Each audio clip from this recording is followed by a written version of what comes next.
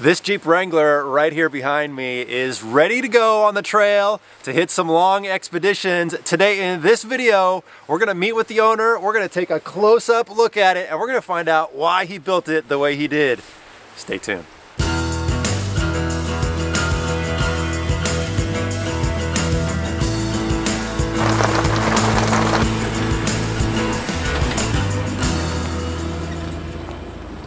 Welcome to Trail Recon. I'm Brad, and today I'm here with my good buddy Josh. Josh, dude, thanks for getting up early in the morning, man, and coming out here. Anything for you, Brad.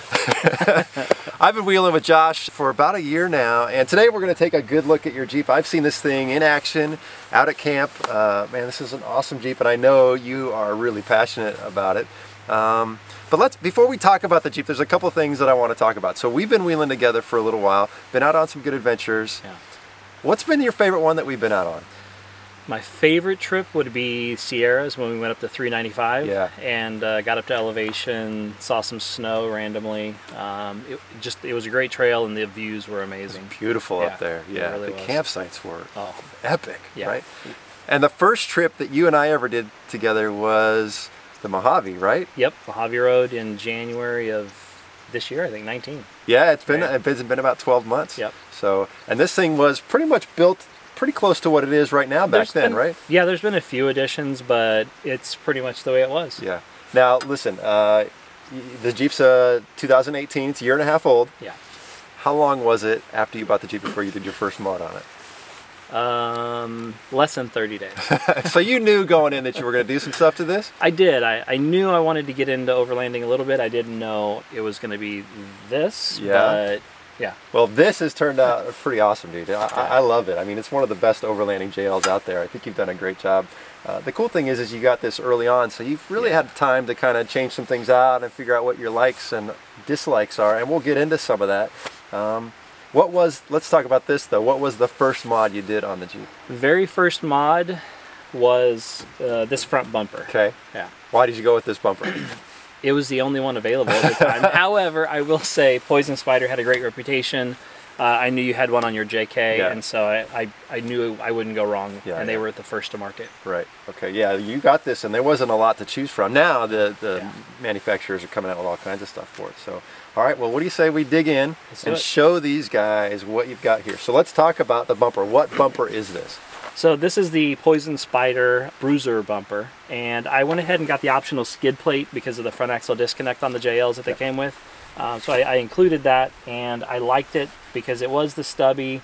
Um, I wanted a bar up front to be able to mount lights or something, and uh, it gave me the option to put larger tires on pretty much right away with the Rubicon model. No rubbing when you're turning Yeah, it. and that zero. kind of Stuff, Yeah. Right. And what I like about this bumper for me personally is the winch is lowered into the bumper. It's not sitting on top of it. What winch are you using? This is the Warn Platinum 10S uh, with the synthetic rope, and um, it barely fits here. It's a super tight fit, but it does fit and it works great. Okay, and this is a 10K or 12K? It's a 10K. 10K synthetic line. Yep. Uh, you got the Factor 55 lead up here. I do. Um, now this winch is pretty new. It's only a year and a half old. Has it gotten much use? Very little, Okay, but not on trail. not on trail. well, you know, sometimes you got to use it for what you need it for. Okay.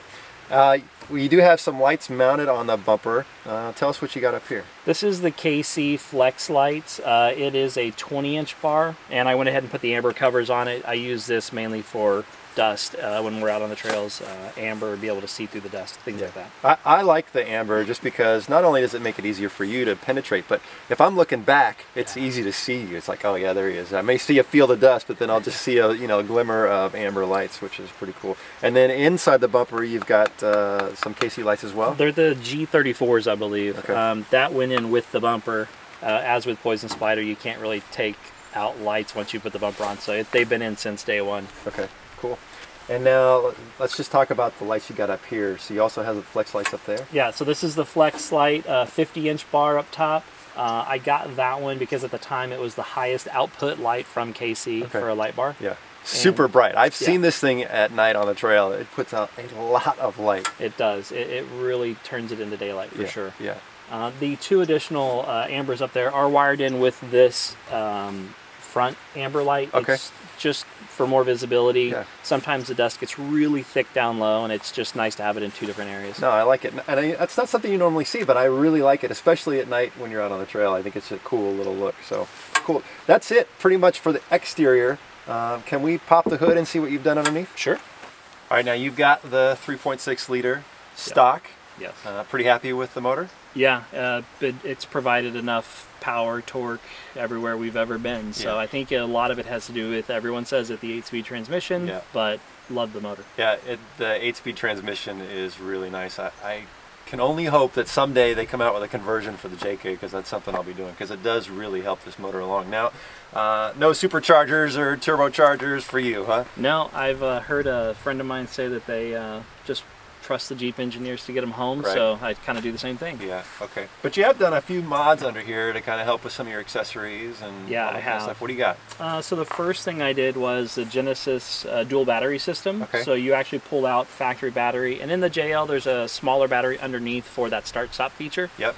Um, by removing that, you're able to drop a their custom tray in and put both batteries in, and free up some room in here. Okay. Um, once I did that, um, I wired in an S-Pod Bantam. So there's a Bantam S-Pod in here with the HD switch inside. Right.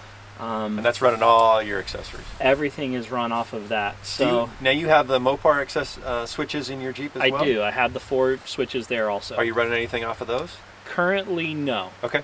I, I've gone between the two. I've put some on the S Pod, put some there, um, but I've moved everything to the S Pod currently. I've Yeah. got some things in the future I'm working on. So, Uh oh. Well, let's Yeah. talk about that in a bit. and then I also added the KC underlights here, so I'd be able to see uh, under the hood when you're working. Yeah. What, what I like, Josh, and, and this was something that we talked about a long time ago, you inspired me a little bit, is your wiring is really clean. You've got the nice braids all over everything. It just keeps it really clean. I've actually went and bought some of this stuff for my Jeep because of you. Uh, it looks really good, man. You've done a great job in here. I appreciate it. It's been a lot of hours in working on it. Yeah, but you know, having a clean wiring system that's safe and uh, it looks good, it's, it's important. So, Yeah. cool. Let's uh, talk tires and suspension. Okay. So Josh, I love the stance of your Jeep where it is now, but it's been an evolution over the short period of time you've had it. Let's talk about wheels and tires. The JL Ninja comes with 33s, but you upgraded twice since then. What did you do? I have. Um, so they came with the 33s. I like the ride of the KO2s. I went to 35s Okay.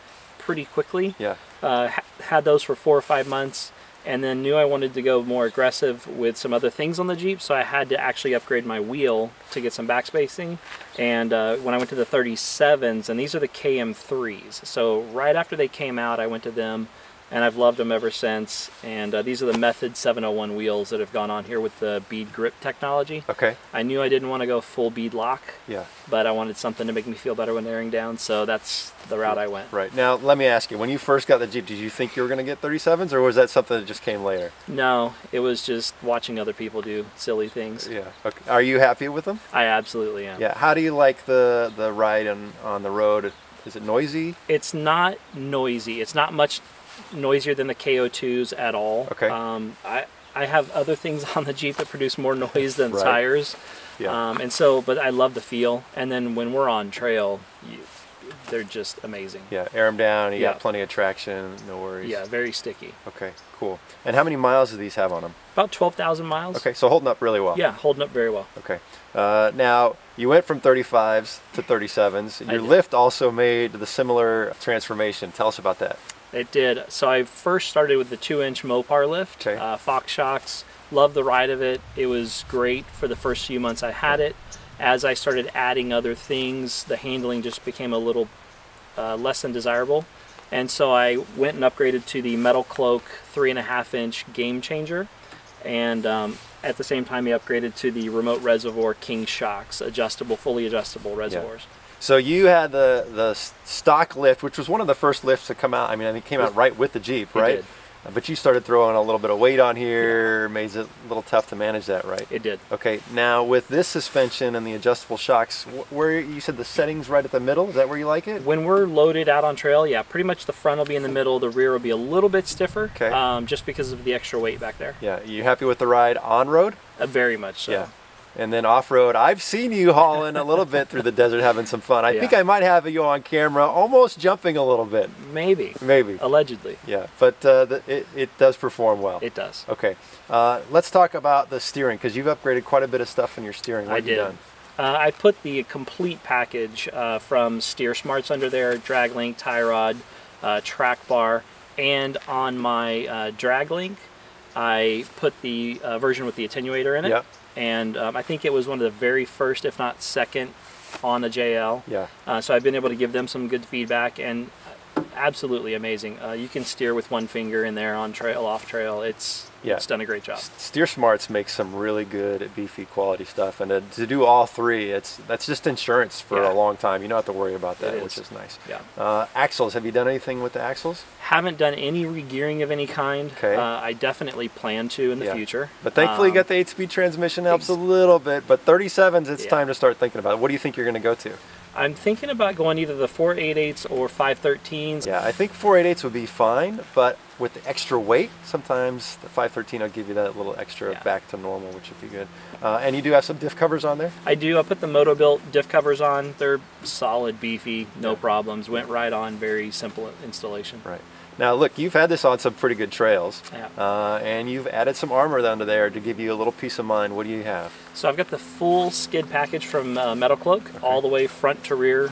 Covers pretty much the entire belly. You could slide on it if you want to. Yeah. And did you install that yourself? I did. How easy to install? I've yeah. It was very easy. Okay. You know, that's a good question to ask because I know the answer to this, but you install almost all of this yourself. I have installed everything. Everything. This is Yeah. all you. You don't do it to a shop. So, No. uh, and is there anything here that's been really challenging? Has it all been pretty easy to install? Uh, the lift by myself Yeah. was a little challenging, but ratchet straps and just taking your time and being safe Right. got the job done. But you were able to do it by yourself. Yep. Cool. Uh, all right. Let's talk about some exterior stuff. These uh, these fenders are really solid. What do you got? Yeah, these are just the steel metal cloak. Um, I believe they're called the overland fenders. Okay. Is what they call them, front and rears. And they got the little lights up in the front. They do. You can keep the JL lights, which I, that was one thing I really wanted. I didn't want to give up that light, Yeah. given that that kind of identified a JL a little bit. Right. And um, they were the first to come out with it that I liked. Okay. So I went with that. And uh, got some good clearance. Yeah. Uh, steel over aluminum. Any? Uh, are you happy with the steel? I'm happy with the steel. I can stand on it. I can beat it up. It, it doesn't hurt it.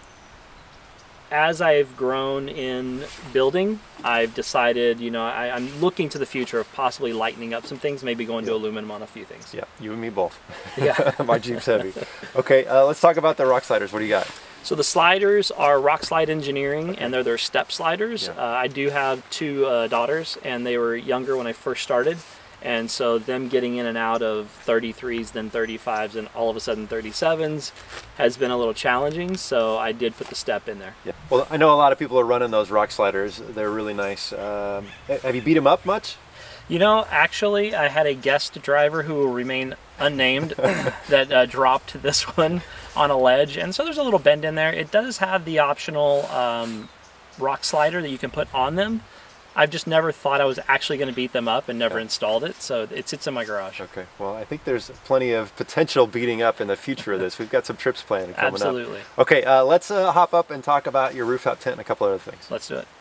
All right, now we get to get into some of the fun overlanding stuff, which is something you're really passionate about. You like camping and cooking and all that stuff, right? It's a lot of fun. Yeah. Uh, talk to us about the roof rack. What do you have, and why did you go with this one? Okay, I wanted to go with the Rhino rack platform rack, uh, but they didn't have out the backbone system yet, and Maximus 3 had their mounting, and it actually allows for a little bit more uh, static weight Okay. um, per their specs 900 pound static, 300 dynamic. That's a lot. it's a lot of weight, and so I knew there may be times I have the kids, whoever, um, up there, and it would be more than just uh, myself. Right. Now that that rack system is is mounted on top of the roll bars, which gives you that added strength. It Is that does. right? It goes through the. You do have to drill. Yeah. Um, I got over that after you yelled at me enough times. I, drilled, I went ahead and drilled through, and it does mount to the roll bar. Yeah, drilling your top is never an easy No. thing to do. But then you realize, you know what, I can repair this if I Yeah. need to. It's not that big a deal. Yeah, it's just fiberglass. Yeah. So the the roof rack has a lot of accessories, um, but the biggest accessory that you've got on here is your rooftop tent. Tell us about it. It is. It's the uh, Generation One. I camper Sky Camp. Okay. King size mattress inside, so it, it could sleep the entire family. Right. There's probably three inch uh, memory foam in there. It's been very comfortable. Um, it's warm in the winter. We were in the snow up Yeah. in Mojave. Yeah. They do have an inside liner you put in it um, that builds a heat barrier. Um, it's just it's been a great tent. Yeah. I, I've, it's super fast to set up. Super fast. Yeah, Yeah. and take down. It's it's just been an, an amazing tent. I'd buy it over again yeah. for sure. And fabric and everything's holding up well. Yeah. Okay. Latches are all good. Yep. Okay. Yeah, it's a great tent. I, I like the hard shell, but man, watching you set up this morning, I, I don't think I've actually paid close attention to you setting it up until today. I was like, wow, that really went up super fast. It's Yeah. really nice. It does. Yeah. Okay. Uh, and then you've got an awning. Tell us about that. Awning is the Rhino Rack Batwing 270 awning. Yeah. Um, it just provides a huge space underneath to be able to hang out or to get away in the shade Yeah. uh, or to protect you from rain. Right. We've been there. We have. Yeah. Uh, now it, it is a big uh, awning, and it does. It's pretty heavy. But boy, I'll tell you, when you're out in the desert and you want some shade, Yeah. or when it's raining and you want a little protection, it, it really is nice to have. It is. Yeah. Uh, you got your shovel mounted on the side there. Yep. Uh, get much use out of that guy? Not for digging holes. Yeah. Not getting you stuck much. No. No. Okay. And now you got to tell everybody what is this big tank on the back of it? On the back is a road shower 4. Okay. Um, I've actually used it as a shower a couple times when we've been out, but Yeah. the majority of the time it's for washing dishes, just having pressurized water. That's the big thing. I wanted to be able to just hook an air hose to it, pressurize it, and have water on demand. Now, how much water does that hold? That one is the medium size, so it holds seven gallons. Okay. They have a 10 and they have a 4, but Okay. kind of went in the middle. All right. Now, when you when we're out on trips, uh, is that your only water source? Uh, I have a couple other RotopaX full of water, Okay. and then I generally have a couple gallons of drinking water inside. Okay, so you don't use that for drinking. That's just for showers and Showers and cleaning. cleaning. Yeah, but it's nice having it up and out of the way.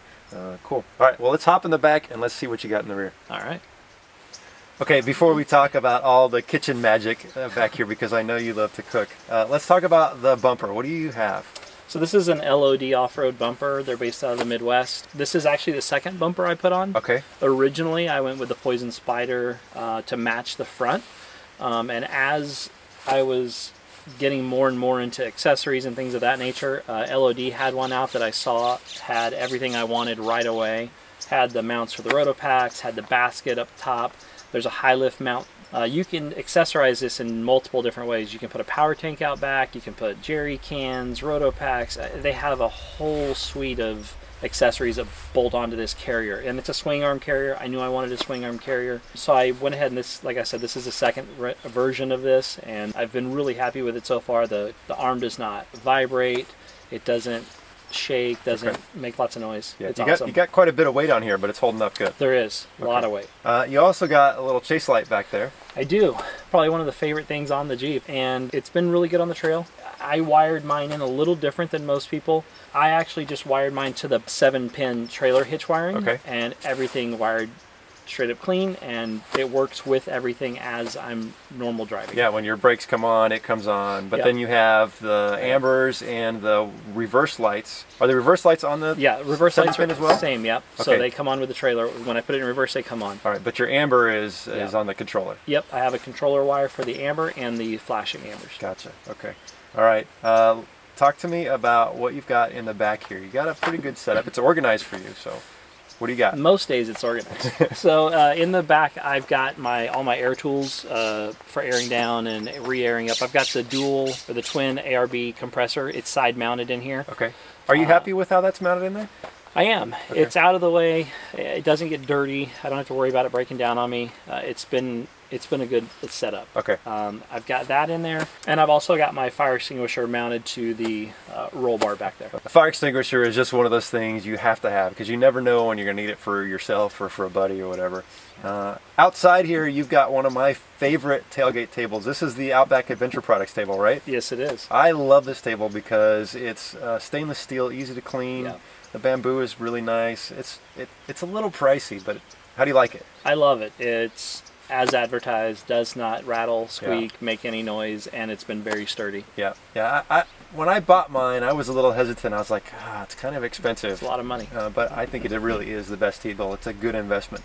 All right, talk us through some of your camping gear and stuff. What do you have for a fridge? Uh, this is the Dometic 40 that I've got in here. Okay. Uh, on some of our adventures, I've got the Dometic Dual Zone 75, just depending on how long of a trip we're going to go on. Yeah, But this is the one that I carry most of the time with me. Yeah. Uh, love it so far. Yeah. it's That- it's good product. That's 75, the first time I saw that, I was like, dude, that thing is huge back there. yeah, it took up the whole back, I Yeah. think. But you like to cook and you like to have some good food, so that's And we had ice cream. and we did have ice cream. I will never forget that time when we when you decided to we baked that cookie Yeah. on the campfire, Yeah. and then you pulled that ice cream. I was like, come on, where am I right now? That was cool. It was dude. awesome. Um, okay, talk to me about um, like you're pretty organized with these uh, these is there front runner boxes? Front runner, yep, front runner boxes. Um, one of the first things I grabbed when camping. Um, I have a total of six of them. I'll generally carry three. I mix and match. Um, I'll keep one for dry goods, like a pantry. Okay, Um, I'll keep one with my cooking supplies, knives, plates, all that stuff, and then one with uh, cleanup supplies, okay, um, toiletries, things like that. yeah. Um, and so then all my perishables go in the fridge, and it seems for a really good setup. Yeah, it is pretty organized back here. I like the boxes because they stack and they secure really nice, and they seem pretty durable. You've been using these pretty, pretty. every trip out i've beaten them up and um, they've got multiple tie down points on them i would say over time i would love to have them dust proof Yeah. but there's a trade-off and so I'm, I'm good with the way they are now Okay, uh, and you do have the Tempo Test Skottle. How do you like that thing? i do I, i've had it for just a couple months now Yeah. um, and converting to cooking on it is relatively easy Yeah, um, i have not mastered it as some of the guys we know marco Marco. but uh, but no, I love it. It's it's really easy to cook on, easy to clean, Yeah. single item. Don't have to pull out pots, pans, and everything else. Right. I, I really like it. Yeah, I really like the Skottle. I think it's a great option. I know I've watched Marco cook some masterpieces on there, and I've seen you cook some really good meals. So I'm excited to see what you do with that. So very cool, man. I, I, it's a good setup back here. Let's hop in the interior. I, I want to talk about some of the cool tech you got up there. All right. All right, Josh, you've got a great setup in here. It's a very cool cockpit setup. Talk us through some of the things that you've done and what you like about it. Sure. Uh, for me, it all started with the uh, Vector full width bar. I wanted to be able to put something in that didn't require a lot of modifications to the Jeep. I don't really feel like cutting up a brand new vehicle at the Yeah. time. So it bolted straight in. Um, it was one of the first full width bars out there. Yeah. It's super solid, doesn't let things move around. Um, you can mount it at so many different points. If, if I wanted to add something for a passenger or just so many options. Yes, pretty And- modular. very, very modular. I connected it to the 67 Designs uh, mounts. For the most part, uh, other than the iPad is on a RAM mount, Okay. and it keeps everything within arm's reach. I don't have to move a lot to grab or to move or to monitor anything. Right. Okay. So what iPad are you running? This is a full-size iPad, actually. What uh, What's your favorite app that you use on there when we're off road? It's always Gaia. Gaia. It just has been. Um, I, I flip between it and EarthMate for a little bit because Okay. I do have a Garmin InReach that I connect to some stuff when we get really far out there. Yeah. Uh, but Gaia seems to work great. Okay. Any vibration from the iPad when you're on the trail? If it's the trails we're on, Hmm. you get some sometime, but it, it's not unbearable or anything like that. Okay. And then you've got your 67 Designs phone mount. You're pretty happy with that? Yeah, that's my favorite Yeah. mount. Me too. Yeah. And you've got your ham radio head unit here. What do you got? Uh, this is the Yaesu 7900 dual band, and it's got the uh, removable uh, remote faceplate. Okay. And so the main unit is actually mounted down here in the passenger footwell, up against the side. Faceplate's up here, mic's in reach. Yeah. Uh, it's great. And you've got the antenna mounted on your hood, and you get some pretty good range with this thing. Yeah, it's surprisingly well. We've been pretty far apart when chatting out there. Yeah, yeah, it's great. You know, I think ham radio is a great way to communicate. You do have to go through the process of getting your license. You do. Wasn't that hard though? It was not at all. I studied, did the same day test, uh, maybe 24 hours later. Right. Um, now you do have uh, another uh, mobile ham radio on. What is this mount you got here? Uh, this is Jeep Unique. Great product, uh, very easy, fits right on the, the grab bar here on the passenger side. And it, it, I liked it because it has a dual system. You can drop the just the hand mic on it or a full actual clip mount for uh, numerous handhelds. You just tell them what brand you have, and they build it for you. Yeah, I've got the same setup. I love it. It's very convenient. Yeah. Uh, especially for me when I'm hopping in and out and need to grab the radio. Yeah. Okay. Uh, talk to us about the S-Pod button switch you got up there. S-Pod, this is the HD switch mount plate that they have, and I mounted it to the Carolina Metal Masters ball mount that they have for the JL. Um, I've got one on both sides just in case passenger wants to throw something up there. Uh, super sturdy. It's been, uh, I really like the placement of this. It's very easy to grab all my buttons. And I've got eight things up here wired in already. What do you got? Talk us through it. All right, so I've got my underhood lights. Uh, I've got the air compressor in the back. I've got my ham radio, or as I call it, my race radio, because we're always racing in the desert, right? uh, I've got my flashing uh, ambers in the rear. I've got my solid ambers in the rear. I have uh, my dust lights up front, Mm-hmm. and then my 50-inch KC light bar up top, as well as I do have some cyclones underneath. Um, they are blue randomly, but um, and so I, I call them snake lights just because I love snakes so much. yeah, that's not true at all. So I've got my rock lights mounted uh, wired in up here also. nice. What's this little button you've got at the top here? So this button here comes with the Genesis system. It's an option. It's called a G-screen monitoring system. And what it does is it allows me to monitor both battery levels as well as if I press and hold, it'll join both batteries. If for some reason I were to have killed my primary battery, I can press and hold and self-jump my uh, starter off of the other battery. Nice. Well, it's a good setup in here. Are you pretty happy with everything? Yeah, I love it. Anything you can change? Always. It's a Jeep. Okay, you've done a lot to this Jeep. What's the favorite thing you've done? All of them. Uh-huh. No, Yeah. got to pick one, buddy. Um, if I have to pick one, it's got to be suspension. Why? Um, for me, it, it really defines kind of the look of the Jeep. Um, I can pull all the camping gear off of it, and I can still have an amazing vehicle, very capable, get out, do some trails, as well as it just kind of looks cool. Okay, So- right. Well, the stance does look awesome. Okay. What's next?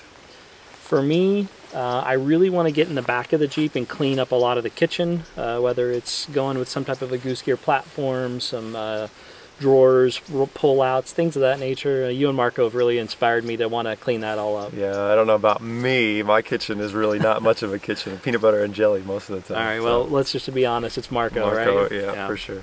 Okay, uh, you've been on some great adventures on this. Uh, what's been your favorite trail? Favorite trail, due to this being more of an expedition vehicle, I, would have to go with Mojave Road. Yeah. It gives you so many different uh, things to do, whether it's technical, whether it's just some awesome scenery, some killer camping spots, and you can explore on little day runs off to the side. A lot of stuff to explore out there. Yeah, there's a lot of rich history Yeah. on there, and, and I'm with you. It's not it's not super hard. It's No. easy. It's uh, Yeah. you get a little bit of an endurance to go across, but man, there's just so much to see. And going through the Joshua Tree Forest, is, uh, I love Yeah. it back there. It's gorgeous. Okay, uh, where do you want to take this thing? What trail is on the bucket list? I've got two in mind, but if I have to choose one, there's a wilderness road up in Idaho called the Magruder Pass. Uh, it's got some crazy history to it. You can read about it online and everything, but uh, it, it's a tough, tough road. Like, take chainsaws to cut things out of your way. Like, Okay. it's a wilderness road, Yeah. and the scenery up in the Idaho, and it goes all the way into Montana. So I've always wanted to go to Montana. Yeah. I think that would be a killer way to get there. Oh man, that sounds like an amazing adventure. Yeah. Okay, good to go. All right, uh, look, uh, this is a beautiful build, but it's not your only build. You recently bought a Gladiator. We've been out on the trail. Just tell everybody a little bit. What's the plan for the Gladiator? Do I have to tell you everything? Okay, not everything. All right. So the Gladiator is going to be a pure expedition vehicle. Um, it's going to be for long range. It's going to be that stuff. So um, I've been really researching and doing some mods that I, I the biggest thing I'm going to do is from a little company out of Australia called Patriot. Okay. So we'll just have to see what happens. Right. But they're they're involved. We'll have to check you. We'll have to check back in with you. Yeah. But okay, so two overland vehicles, but a little bit different uh, capabilities and stuff with them, right? Yeah. Okay, cool. Well, I'm excited for uh, that build, and I'm excited to get out on the trail with you again in this one, buddy. Thanks for taking the time today, coming out here and uh, and chatting with us on camera and sharing with the viewers uh, your Jeep. It's awesome, dude. It's always a pleasure. I can't wait Always. till we hit the trail again. Absolutely. Hey guys, if you have not visited Josh's Instagram, I'm going to leave a link down below. Make sure you go check that out. If you're visiting Trail Recon for the first time, hit that subscribe button. I'd love to have you as a member of the Trail Recon team. Thanks for watching.